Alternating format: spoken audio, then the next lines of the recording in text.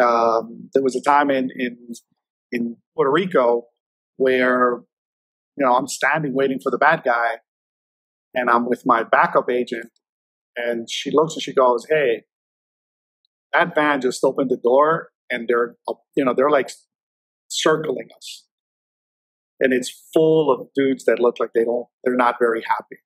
So I was like, "Hmm." So we stood there. Soon as I made eye contact with one, I got in a car. We pulled out of where we were, and then all of a sudden, they start forming in behind us. So we're in in San Juan. I'm trying to lose them in like in traffic. So I'm trying to like play with the lights, um, and uh, eventually we were able to make it into a mall parking lot. We got far enough ahead, we were able to dump the car, and then we ran into the mall. Called our backup team and said, "Okay, this is where we are. You guys need to get us, and you guys need to get here quick."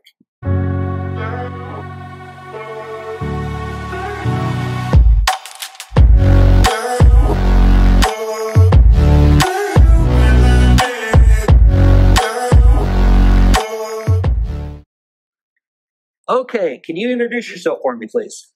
Hi, aloha. My name is uh, John Tobon. I am the special agent in charge for Homeland Security investigations in Honolulu, Hawaii. And John, can you tell me, give me a little bit of idea about uh, growing up, your family life, and was there anything as you were growing up that led you to law enforcement? So, um, I grew up in Jackson Heights, Queens, which is a uh, overwhelmingly immigrant community. I came to the U.S. as a child at, uh, at nine years old.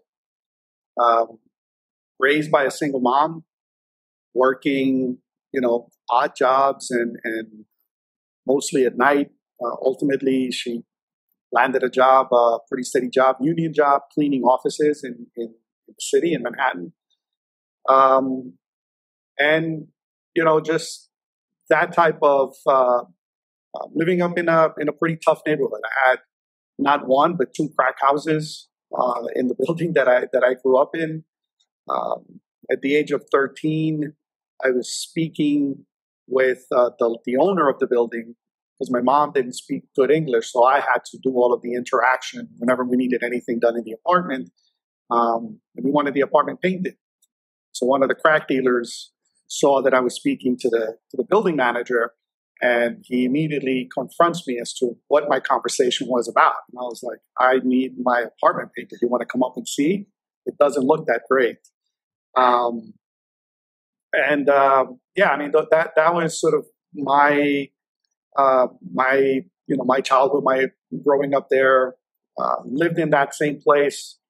Um, actually, right until right until right before I graduated college. And was there anything growing up that led you to law enforcement that made you want to go into it? Not necessarily growing up. Uh, so I was a, an average, below average student. I graduated high school with a C average, with a 75 average. Um, I was fortunate enough to graduate from a New York City public school, which meant that the City University of New York had to take me.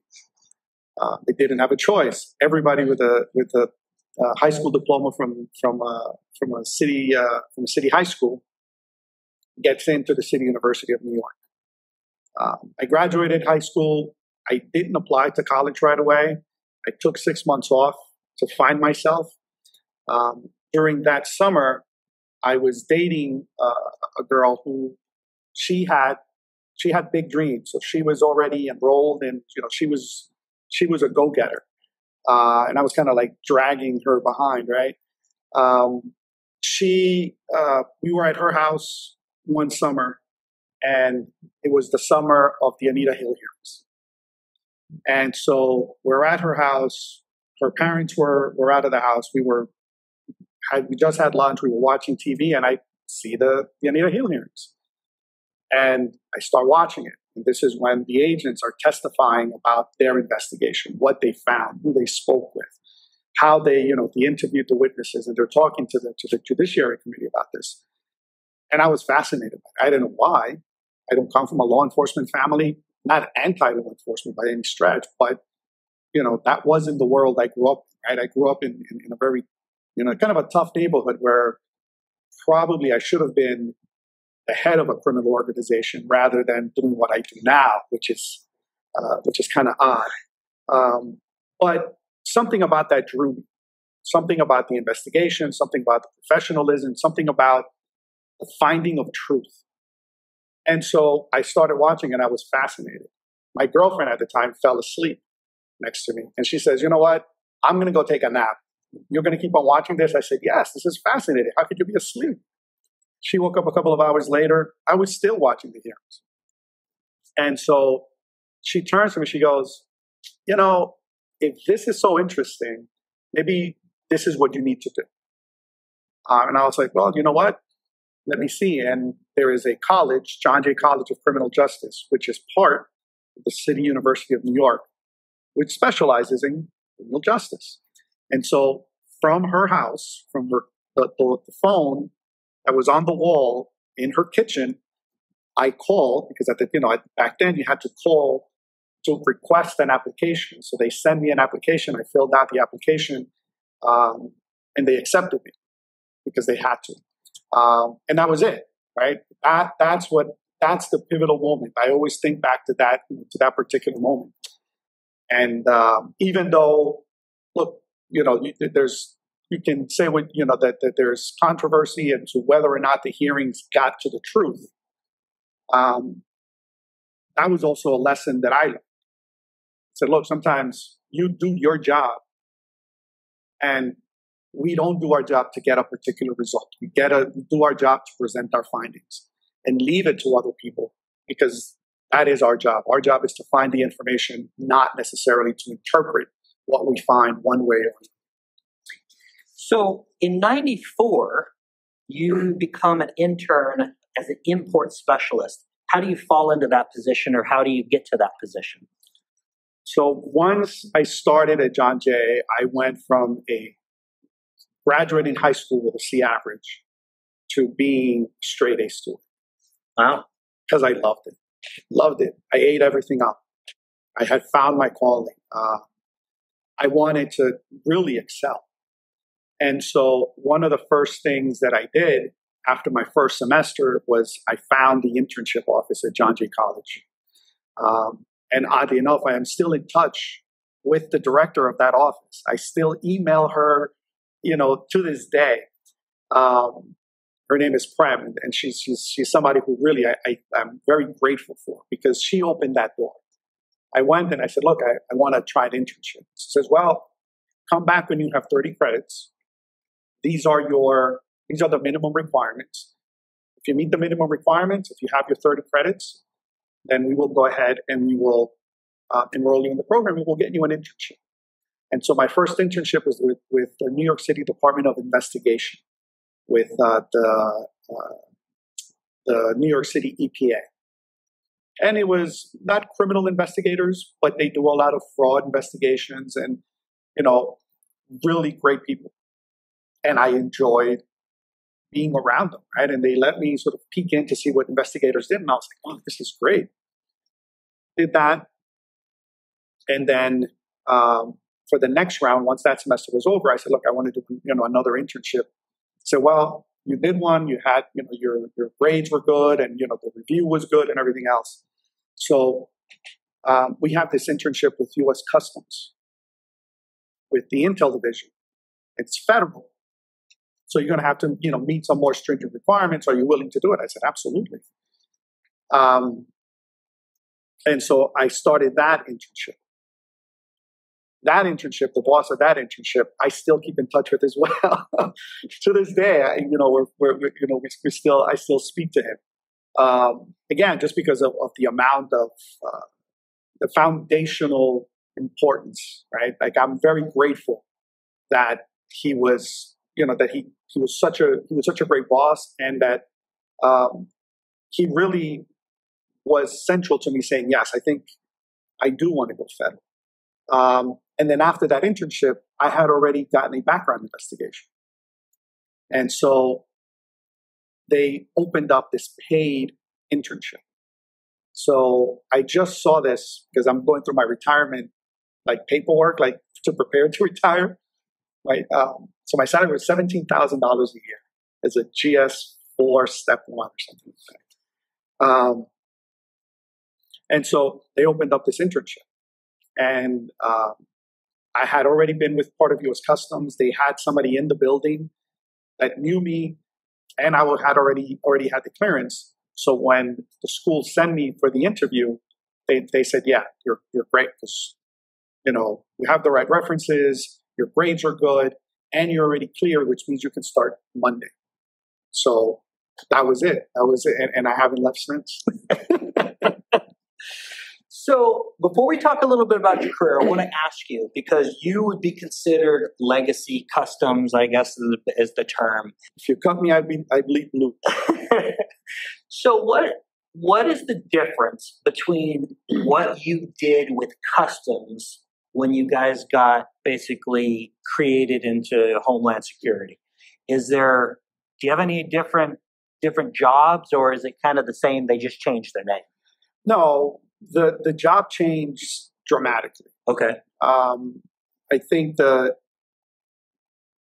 it, the job became more focused on really identifying large criminal organizations. And we were given special tools, right? Tools that we did not have before. Mm. Um, and and so learning how to integrate those tools into what we had been doing for so many years uh, was a challenge. And the other thing is when you take two organizations that have separate um, cultures and you try to combine those two cultures um, in the manner that it was done, they, you know, it, it was uh, a little bit of oil and water at the beginning. So, John, can you explain to the audience when you say uh, combining two cultures, two agencies. What what were those that form ultimately ended forming HSI? So we had we they uh, they took elements of that came from the Department of the Treasury, which is U.S. Customs, part of the United States Customs Service, and elements from the Department of Justice and the Immigration and Naturalization, Naturalization Service. And really, overnight, we were told talk amongst each other. That was really there was no. It, it was it was a rough start. Um, I think it, it, was as a re, you know the reaction to 9/11 and sort of the way the department came together. Um, and this has been documented in, in, in books and you know in, in, many different ways in terms of how the agencies came into the HS and, and how the, the, everything came together. But the human portion of it um, was difficult. Um, I think there was also um, the way the agencies ran, the way the the um, the investigations were structured. There were some very very significant, not not just cultural differences, but actually um, structural and, and, and, and differences in, in, guidance, differences in authorities that took a, a fair amount of time to, to really um, smooth out amongst everybody that was, you know, that, that was part of it. Yeah. So one question I've always been interested in is HSI, you guys work on a lot of stuff, and FBI works on a lot of stuff, and I kind of see you guys as similar agencies in respect that you can work on a whole bunch of different things. Is there something that HSI works on that FBI can't, or vice versa? I think we, you know, there's few, couple of authorities that are designated for, for FBI, a couple of authorities that are designated for, for HSI, um, that change the way we work. So, for instance, we're customs officers, and as a result, we have border search authority. FBI does not. But FBI is recognized as the lead agency on terrorism. So it doesn't mean we don't work terrorism investigations. It just means that it has to be coordinated. Um, I think we we are. Uh, I think the focus, and and this is all really done for the purposes of not necessarily saying legally you cannot work this or you cannot work the other. It's really to, to make sure that we are uh, that we have each other's back in, in a lot of ways. So we do things we spend more time doing things that they don't because they spend things, you know, time doing things that we don't. Right. So to, to make it more of a complementary um, partnership and relationship uh, between the agencies, um, our authorities are pretty similar, are incredibly similar. Yeah. Um, you know, I will say that you know, being legacy customs, our authorities are older, so we predate the FBI. So I will take that. I will say that. Yeah. Uh, we go back to 1789, and so um, you know, it, it, it, really is in terms of where people have. Um, uh, there, there, there has been a decision made in terms of policy of what tracks the FBI would follow. Um, you know, the, the, the FBI, for instance, gets involved with you know murder investigations at the state level. We don't. Yeah. Right. Our focus, our, at the policy level, we said that we don't. You know, that's not something that uh, we necessarily have the manpower or want to be involved in. Yeah. I just always found that interesting. I, I never really knew the answer to that. So, okay, so in 97, you start as a, I'm assuming a special agent with customs in Seattle. How old are you at that time? 23 years old. 23. So how is that? 23 years old, you become a special agent, you're in Seattle. What are you working on and, and how are you feeling at that point? I'll be honest with you, uh, in terms of being a special agent at 23 is a dream come true. It's winning the lottery, right? Like I stopped playing the lottery when I got this job. I tell people. Um, I'm not a fan of Seattle though. So as soon as I got to Seattle, I just wanted to get out of Seattle. Yeah, yeah. Um, what were you working on though, for the for the little bit that you were there? So um, I worked a lot, um, mostly drugs actually. It was you know a lot of drug cases. Um, worked at the airport also um, for a little bit, but mostly narcotics. That was it was really that that's how uh, my time in Seattle narcotics, and that's when actually that's when I started working money laundering as well. Okay. So um, this is a this is a real fun story. This is sort of like how you get hazed when you're a new agent. But in the end, I, I got the better of it. I think. Um, so there was a, a, senior agent, Gary Reese, at the airport, and he was known as a guy that liked you know to work money laundering cases. And so um, I was like, yeah, that looks interesting to me. Um, so working with him, I was able to uh, identify a group of individuals that were making structured deposits into all of the banks in Seattle, and all of a sudden, when the account got to about thirty thousand dollars, the money would fly to the UAE, and it was consistent in all the banks. Um, started identifying all these individuals, Somalis, and um, looking into all of this, you know, into this whole group. Then I get information that they're trafficking, they're importing khat, which is a, you know, it's a a, a drug. It's a root that that you know that has a very short, uh, uh, very short shelf life, but it's very popular within the Somali community. Uh, it's a little bit. It's it's a a little bit like uh, like heroin in terms of the, the effects, but it's very short lived. But it's khat, and so I would walk around the office, and because I had this case and the Somalis and I was doing surveillance, people would meow and I was like, really? Right? I was like, I'm trying to do my, this is what's happening. I was like, all right. So that was, you know, a little bit my introduction to, uh, to, to being an agent. I was like, all right, cool. Fast forward, I'm, I'm sitting in the office. I get a phone call and it's an FBI agent across the street. Um, guy by the name of Kepa Salazar. I never forget his name. He goes, uh, hey, my name's Kepa Salazar with the FBI. I'm like, hey, dude, how's it going? He goes, um, hey, I want to talk to you about about your your khat case. And I'm like, great. Now they got other agencies busted my child. I'm like, come on, dude. He goes, um, you ever heard of a guy named Osama bin Laden? No. It's 1998. Well, he goes, all right, we'll go across the street. I'll we'll have, we'll, we'll have a cup of coffee and we'll chat. Well, turns out all of that money was going to him.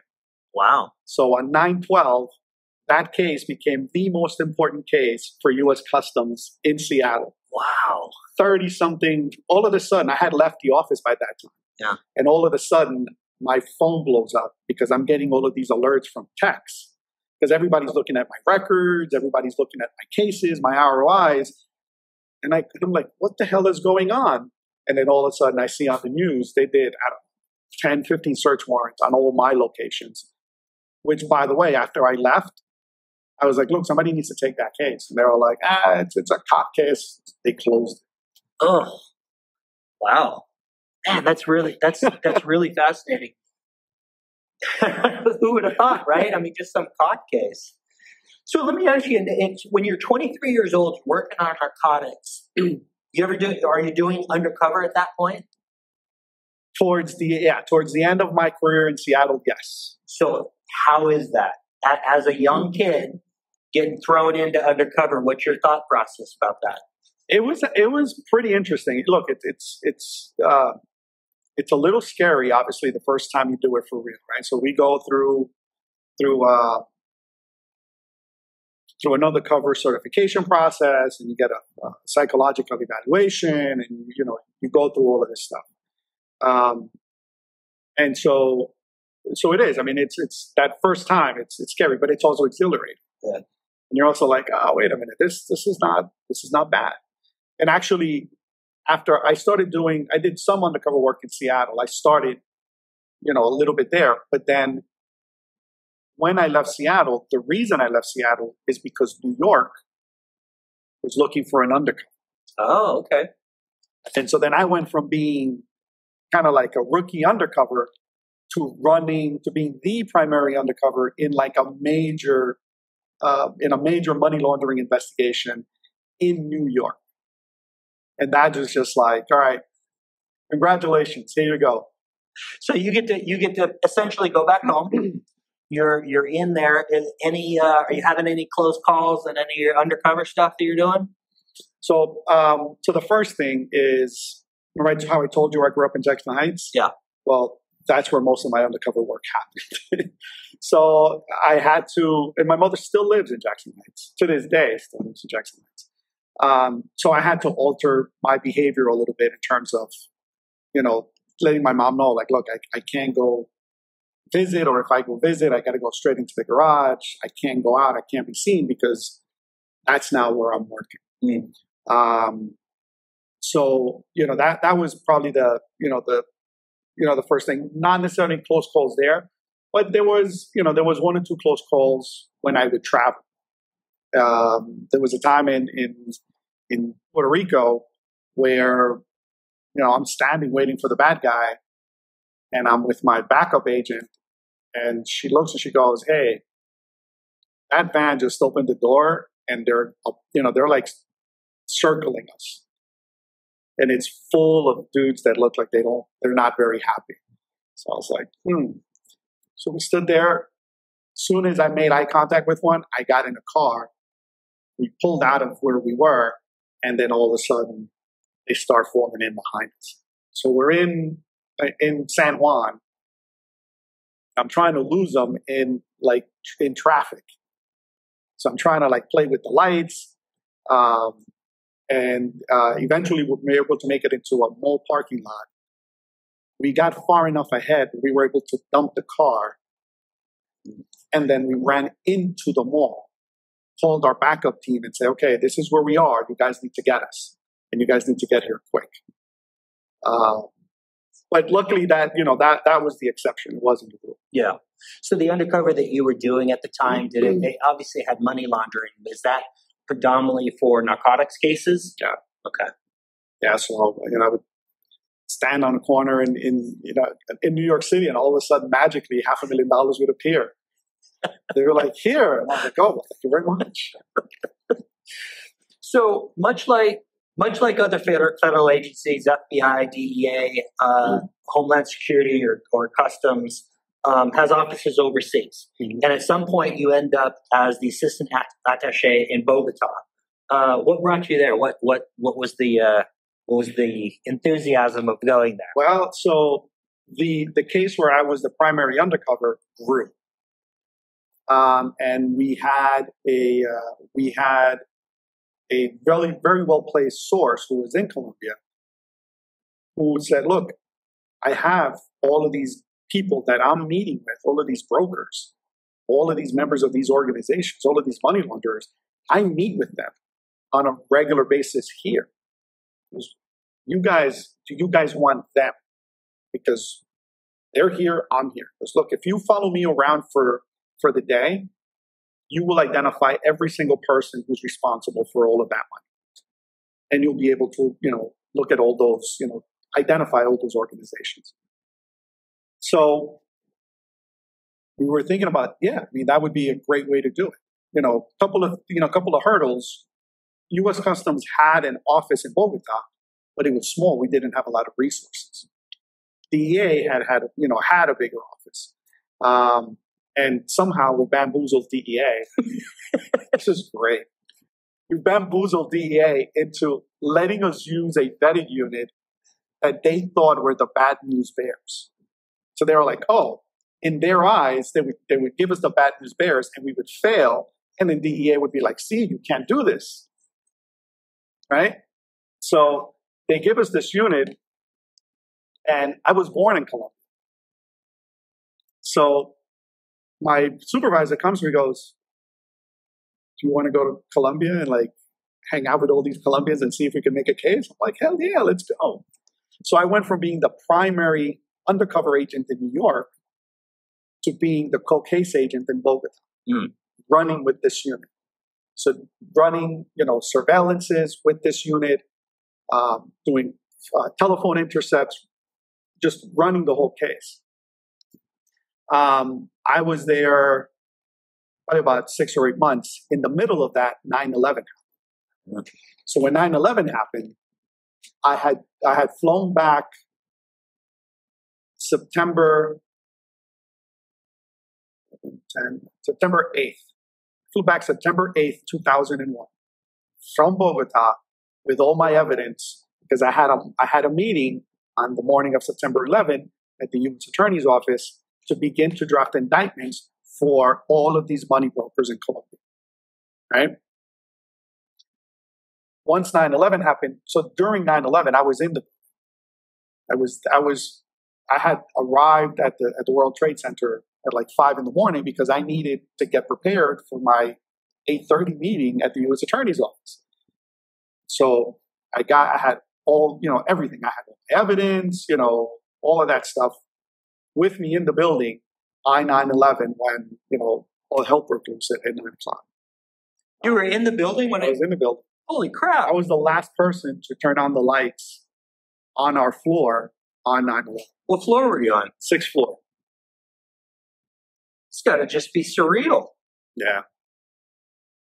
Holy crap. So, um, yeah, so I mean that that was um, I, I, thought I was going to the U.S. Attorney's office. You know, I remember even you know we saw the, the, the like the fire after the first plane hit, but on our side of the building, all we could see was the reflection of a fire. We didn't see any debris or anything.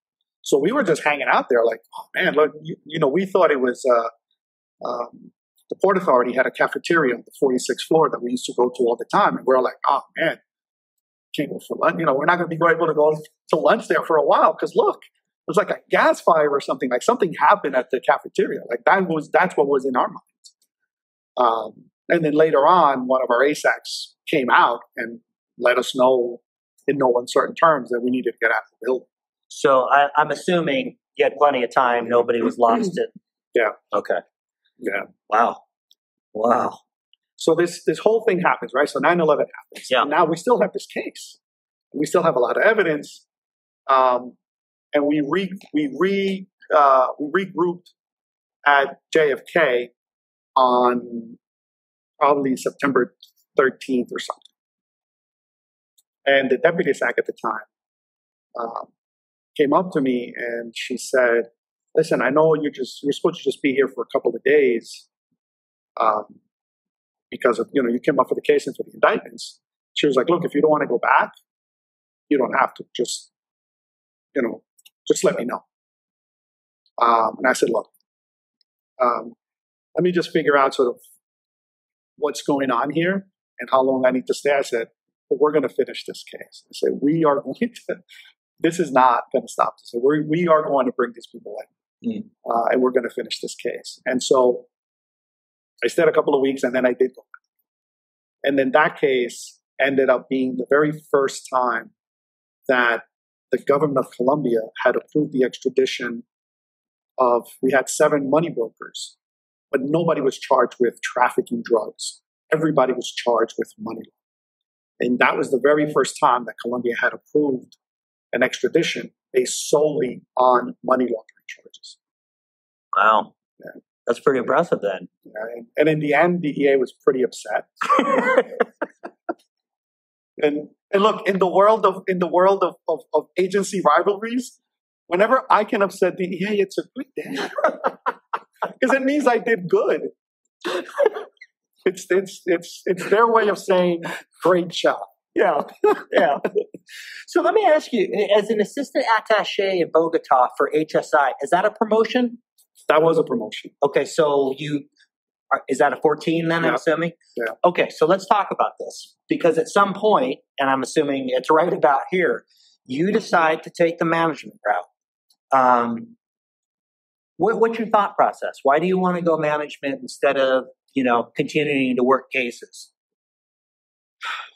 I think there's a couple of different, couple of different, um, couple of different sort of um, things went into that. Um, number one, um, I love to follow the rules, but I also love to innovate. And so it's, and I also like the responsibility of figuring out how do we do it better. Like I thrive on it. Um, so that was part of it. So I was like, well, I know what we're doing, but we've been doing this for a long time. It's like, what, what can we do different?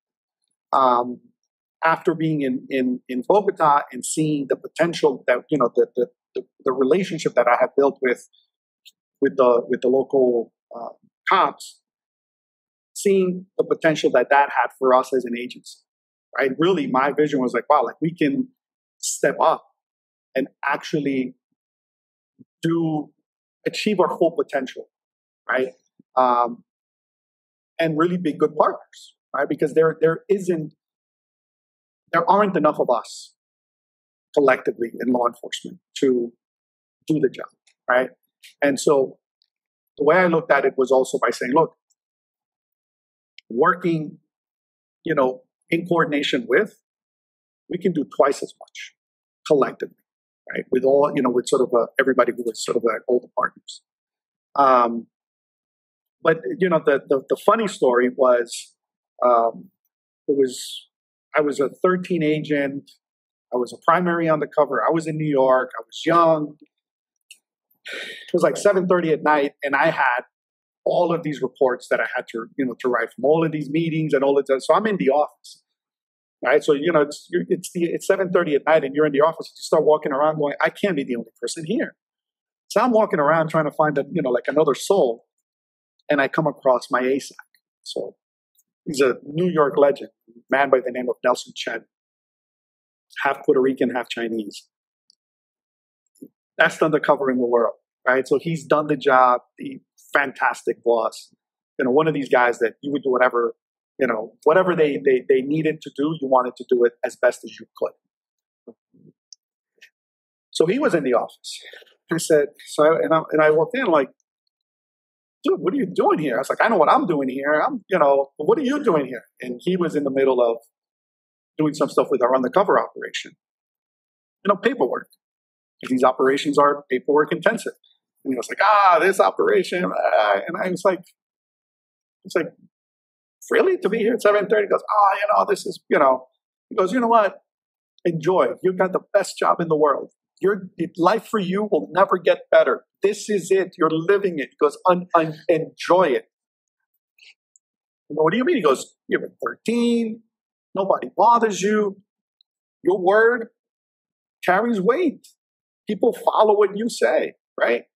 It's great. He goes, and you're responsible for yourself. He goes, it's the best position in the world. So me being a smartass, right? I'm like, well, why'd you become a boss? So takes his glasses, puts them in his hand, looks at me, and he goes, because it's better to be the asshole than to work for the asshole. Fair enough. So ultimately, why did I become a boss? Yeah. Because I would just much rather be the asshole. So I think I know the answer to this question, but you're you're the you're the SAC right now, right? So when you decided to go into management, did you have any did you have any aspirations? And the reason I ask this is I had at least one guy in my academy class that never it wasn't about doing the job, it wasn't about arresting people. His whole goal was I want to be a SAC one day. So I'm assuming based on your story and and wanting to make a difference and everything else, but just just the story that you just told, was there any aspiration of if I go into management, I'm going to get to this level, or you just wanted to make a difference? I just yeah. As a matter of fact, I every time I've been selected for a promotion, I've told people you don't want to do this. I've advised them against, including when I got my my SES and they made me the SAC here. I said, look, you don't want to do this. You really don't. This is the worst thing that you could be doing for yourself, but that's fine. Um, I I was able to play a little bit of a game um, when I became the deputy SAC because I could apply for the SAC announcement and I could make it to the interview. And I could just tag the interview and I'd be like, oh, well, I guess I'm just going to stay at DSAC. Um, but eventually they caught on and they were like, yeah, that's, we're on to you. That's not going to work anymore. Um, so I, I didn't, I had, I had no, no desire. I just wanted to make a difference, really. I mean, I, I, I get, I get, um, personal satisfaction and job satisfaction from making a difference.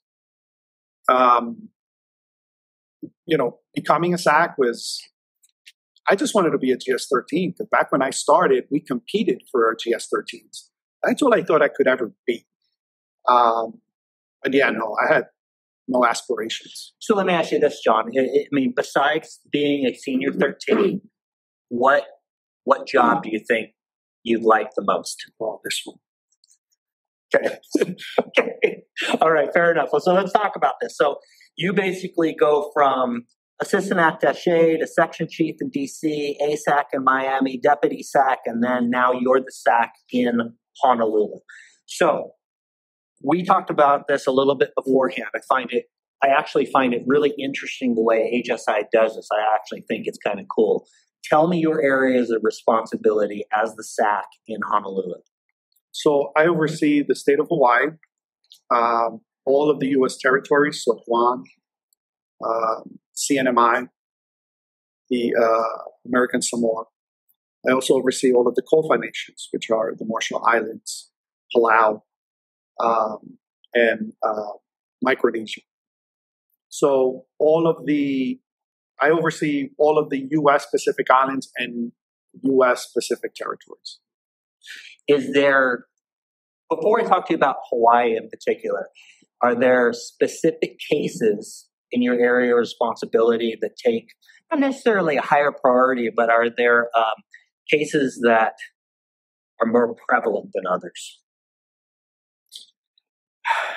This this AR is interesting because the because of the political alliances between the U.S. and some of these, you know, the, the, the territories and, and, the COFA nations, um,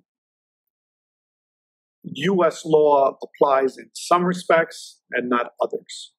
Um, so it, it, it, really challenges us to work together with those um, with those uh, entities at you know Guam and CNMI to try to really to be able to exercise our authority, but complemented with the authority that we don't have. So, for instance, in some places, we have immigration authority. In some places, we don't.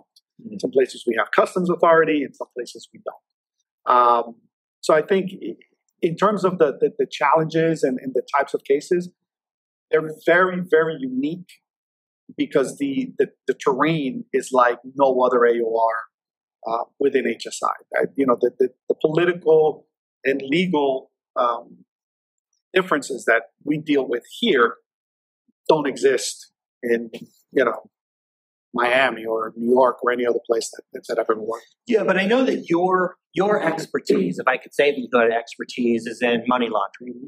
Is is that pretty prevalent in your area of responsibility? Is, is money laundering a big thing, no matter what country or, or what what area you're in? Yeah, the the, the big difference here um, is the level of sophistication. Hmm. So the type of money laundering work that I did when I was an undercover in New York was lots of volume, very little sophistication. Um, it was cash, get the cash, give me the cash, get the cash into the into the, into the financial system, get the you know, get the money out. Um, here we're dealing with a completely different adversary, and the primary uh, adversary that we're dealing with here is money coming into the state of Hawaii from uh, the proceeds of criminal activity in other in other countries, and we have a lot of enemy nations in this general area. So Chinese underground banking is a significant threat here, and the level of sophistication involved with that uh, is very, very, very different from narcotics trafficking. Um, because we're, we're talking about not just organized crime, but we're also talking about um, high level political corruption. And so both the volume and the sophistication level on that type of crime is, is quite high. Why are they targeting Hawaii in particular? I don't know that they're targeting. I think it really is more of an affinity just because we're in the Pacific. Yeah. So it ha- it's not necessarily that they're targeting. It's just that this, you know, the state of Hawaii and before then the kingdom of Hawaii has been a uh, a significant player in the Pacific and in Asia through immigration. So, you know, when the kingdom of Hawaii um, needed workers for the fields, they all came from Asia. So mm-hmm. there's so there's a lot of cultural affinity um, between Asia and and the Pacific uh, dating back to to the you know to the time of the king. Got it. So I listened to an interview that you did with one of the reporters here, and they were talking about game rooms. Can you talk about what game rooms are? Because uh, if you're if you're from the mainland, you have no idea. And what are the dangers here of these game rooms on Hawaii? So, all gambling is illegal in the state of Hawaii, and um, that would be well and good, except that you have a population that has an affinity for for gambling. Um, Las Vegas is called the ninth island. If you cannot find a Hawaiian in Hawaii, look for them in Vegas because that's probably where they are. Wow. Um, there's there's a very you know a direct connection between Hawaiians and and and, and, and Las Vegas. Um, I think Las Vegas has the largest number of Hawaiians not in Hawaii in the U.S. Something like that. Um, and so these game rooms are think back to you know the 1930s, where you have these you know organized crime sets up these places where people can uh, they have table casino gambling, but most of them are these video game machines, mm. um, and they are pretty prevalent here on especially on the island of, Oahu. They are uh, the I call it the belly button of crime. That's where drugs are sold. That's where guns are sold. That's where humans are sold. Because it's it, it's a place where all of the bad guys get together. It's an illegal place. They gamble, they drink, and they you know conduct their their deals. And so we have been working over the last couple of years very closely with with uh, Honolulu Police Department, targeting and starting to get a, a feel for these game rooms. So we estimate that there are probably well over a hundred of these game rooms on Oahu alone. In terms of money, thing is every dozen of these uh, video game machines is a million dollars a year. Oh and a game room can have 60 or 70 of these machines times over 100 so it's it's a huge um, source of revenue for criminal organizations in Hawaii. What type of criminal organizations are running these are running these game rooms, and where does the money go? Is is it going to different countries? Some of the money is, you know, leaving overseas. Some of the money is actually staying here. Okay. Um, but there's, it, it, it's also become a place where um, organized crime collaborates. So you'll have Chinese organized crime, Vietnamese organized crime, um, South Pacific organized crime, taking different roles in these game rooms. One will be the will own the game room. Another organization will run it. Another organization will provide security. And as they get uh, as they get bigger or as they gain clout, then they will move on. And it's sort of, you know, they'll be promoted. Yeah. Or they'll start their own, right? But it's all, and, and it's, um, it's generally peaceful between them, although, you know, we have seen an uptick in stick ups and robberies and beatings and, you know, violence associated um, with these game rooms.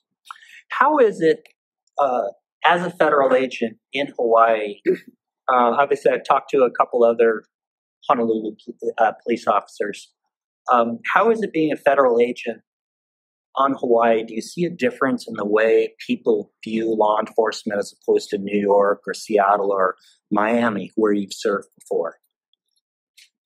I don't know that that people necessarily view you different. I think one of one of the things coming here, which is much different from anywhere else, is everything that happened here didn't happen that long ago. In other words, you really have to be cognizant and sensitive to the history of what happened here. You know, what happened to the kingdom before? Yeah. You have to know those questions. Um, you have to be sensitive to that because it does impact.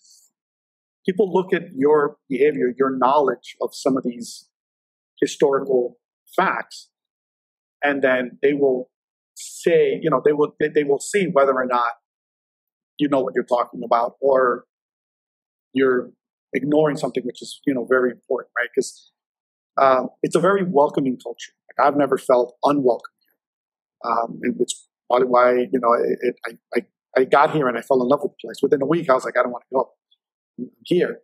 Um, but yeah, I mean, I think the, the culturally, this place, the richness of the Hawaiian culture is something that people will look to see whether you, as a federal agent coming from the mainland, not being from here, whether you have knowledge and, and how sensitive you are to them. Um, and once they, they see that you're knowledgeable and you're sensitive, then at that point, you know, it, it really is not um, that much different in terms of how you know how you're viewed. I, I, I guess my question was more of this, which is, as you said, they're very welcoming. It's a very family-oriented culture. Um, you see blue lights in certain areas, and I was just wondering if you saw a level of respect for law enforcement oh, yeah. that you don't see in other areas that you've served before. Yeah, I, I think I think that the, the, the, I don't know if I don't know if it's necessarily a, like a different level of respect, but but there is you know there is a level of appreciation. Yeah. Um, I think the the other thing that is very different here from everywhere else is the way law enforcement gets along. Hmm. So the law enforcement community here is as is is it's it's as tight as I've ever seen. So there is no look. You know, we, we joke about rivalries between agencies and everything else. Right. Here, you know, we'll joke, but but there is no discontent. You know, we're adults. We're human. We're going to have disagreements. But here, every conversation is like, okay, we're going to get, we're going to find the middle ground. Yeah. Nobody ever gets up from the table and walks up and say, well, we're not going to work with you. It's like, oh, like, all right, we're going to fight. we will find a way to do this. Yeah. Uh, there's a willingness, you know, it's sort of the spirit of aloha, right? Yeah. Where, and so that that is the that is absolutely different Mm. here from everywhere else.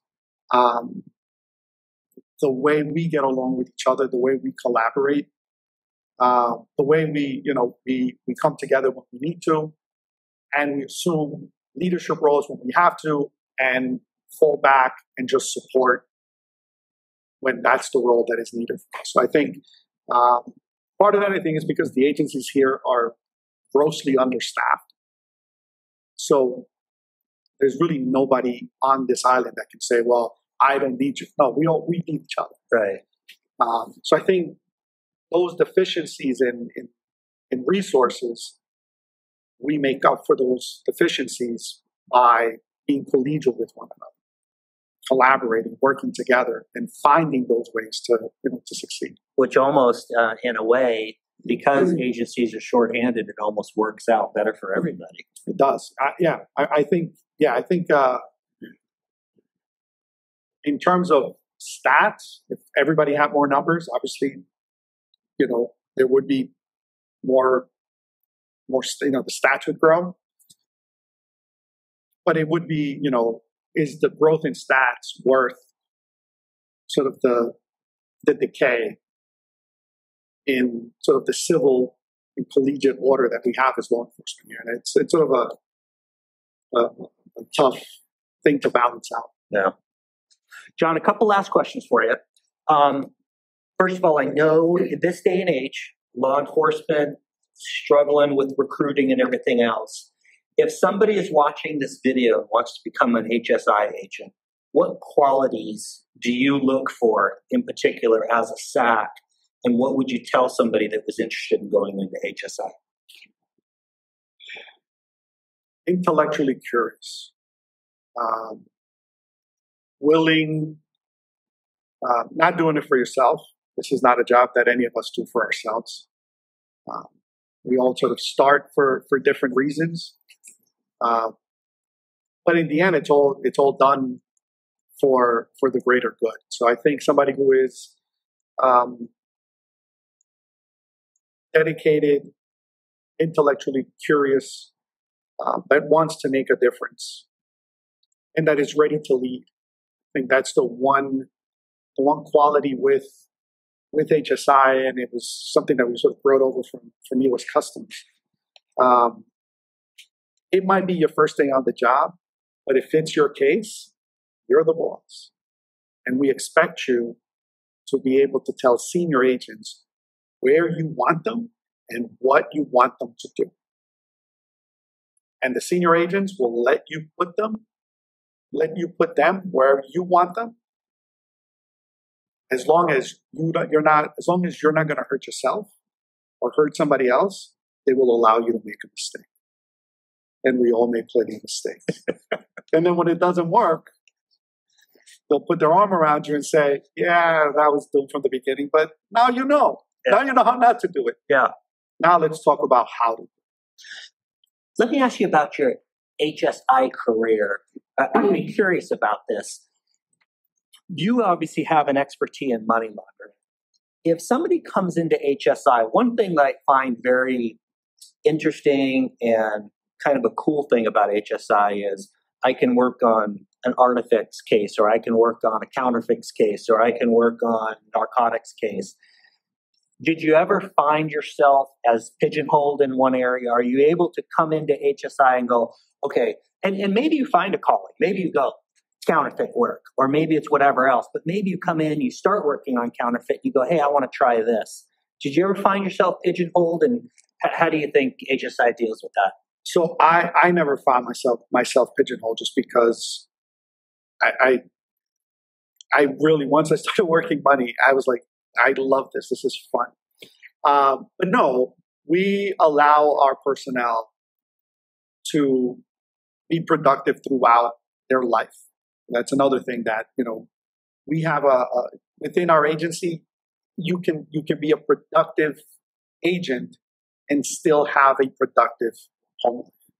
You could still coach little league. You could still you know, be at the recitals for your daughter. You can, you know, do all of these things while still carrying significant cases because not everything that we work runs at the same tempo. So what you will see um, agents do is come out of the academy when they're young and full of energy and they're single and they have no commitments, right?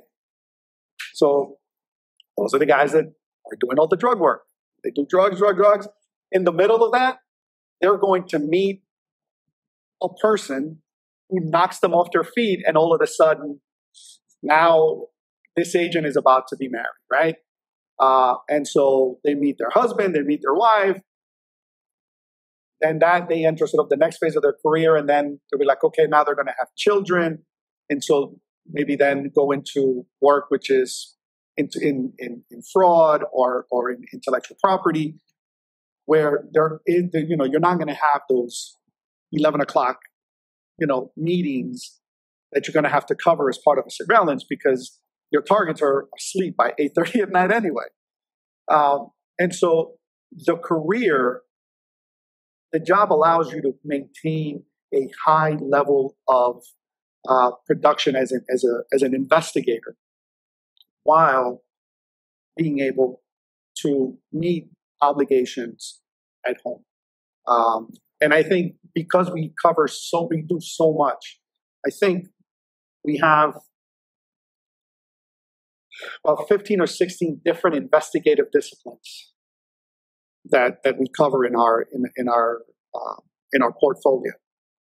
Um, and yes, folks can say, okay, you know, I, I don't want to do drug work anymore. I want something a little bit different, a little bit more challenging. It also helps um, as people become more senior and they have, you know, they, they have experience, um, they become more experienced and, and, and more analytical. And so then those are the those are the persons that you need working the strategic investigations, looking at arms trafficking and, and these types of stuff. Or they become uh, computer forensic agents, right? And then do that type of work, um, you know, sort of eh, to really complement what happens in their everyday life. So it's actually one of our selling points. You know, you talk about, you know, what, what do we want in, in somebody who's going to become an HSI special agent? Yeah, we want that commitment, but we also want to let them know that you will have an opportunity to remain productive as a, as a professional, fulfilled as a professional, while at the same time being able to carry out that, you know, that, that time in, as a, as a husband, as a wife, as a father, mom, and, and, and take care of all that as well. So, which is interesting because one of the questions I always ask, and I think I'm going to know mm. the answer based on what you just said, is did did being in law enforcement affect your family? Yeah. And and in what way? They're in it with you. Yeah. You know, they're they're they're in it with you. I, I think uh, it impacts it impacts your your family in, in all sorts of ways. Whether it's just like you know all the travel that that you know that has to be done um, because of the work. There's a lot that is going to fall on your spouse that they're going to have to do because you're not there. Um, so you know, and, and it also with with your kids. Um, because they know what you do, um, but there's always that that point in time when they start to realize what you do, and they start to think about what you do, and they get scared because of what you do, uh, and so you know just noticing how you're dressed when you leave the house and that has an impact on your family. Mm. Something that simple to us, it means nothing. But I, I was like, oh, you know, if they see, I was like, all right, no, he's going to testify in court. He's wearing a suit. All right, he'll be fine.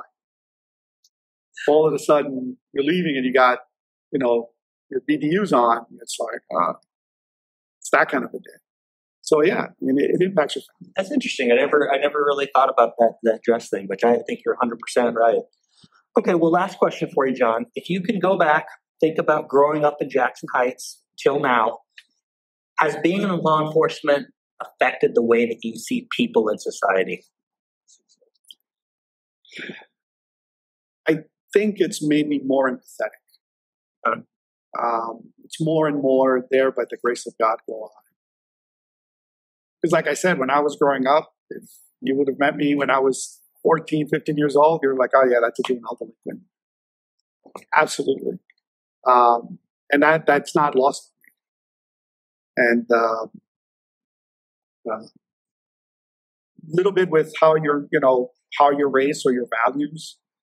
Um, and then if I look at my life, look, a couple of breaks here and there um, could have been the change. And, and, and I don't know that, that, that I'm that different from anybody else. So that's how it's, it's made me more empathetic. And, and, and, it, and it's also allowed me the opportunity to actually have these conversations with people that are in a lot of trouble um, and get to know them in a different way, right? So it's not just a scary bad guy on television. I'm actually sitting in a room with them and giving them something to drink and taking them out so they can have a smoke and relax a little bit so they can feel better. Where do you think that comes from, though? Do you think it just comes from experience over time dealing with people? Do you think that goes back to the way your mom raised you? And where do you think that comes from?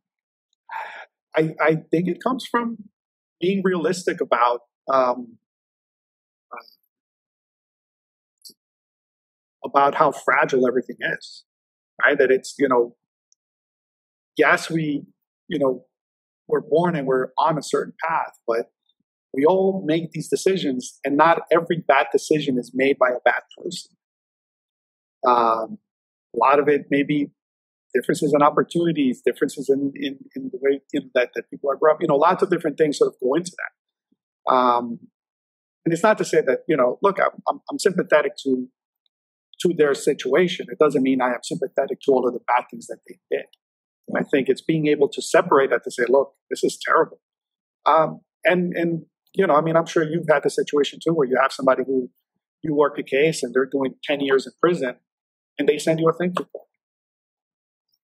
How do you explain that? I put, I, I ruined your life. They're like, no, you saved my life. Yeah. And and I think you know after you get a couple of those and you you have a couple of those conversations, I don't know that that there's any other way to see the world other than to say, look, you know, let me just make sure that I'm thankful for the decisions I've made and sort of the way things have rolled out for me. But um,